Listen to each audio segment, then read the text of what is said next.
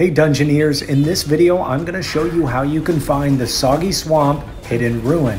Luckily this one doesn't disappear or reappear, it's always there. Once you reach the end of the dungeon and you're fighting the corrupted cauldron, go ahead and kick his butt because the rune isn't until the very end of the mission. Land those final crushing blows and watch the gates fall, it's time to go grab your rune. Walking through those final gates, you'll see a structure on your right with a button behind a mushroom. Give it a tap and watch a wall drop to reveal a hidden passageway.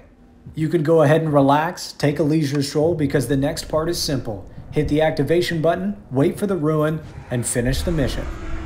If you enjoyed this tutorial, make sure you hit that like button, subscribe to the channel, and we'll be seeing you soon.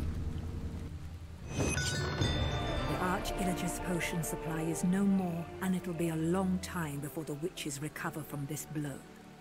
Well done.